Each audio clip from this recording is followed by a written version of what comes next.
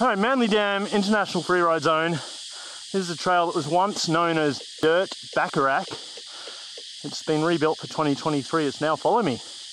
We're going to follow Maddie off the new Steezy step down and all the way to the whale tail. Woo! Creek gap. Woo!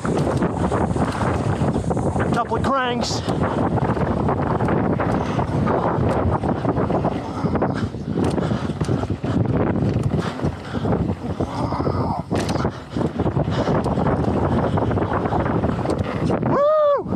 To flat.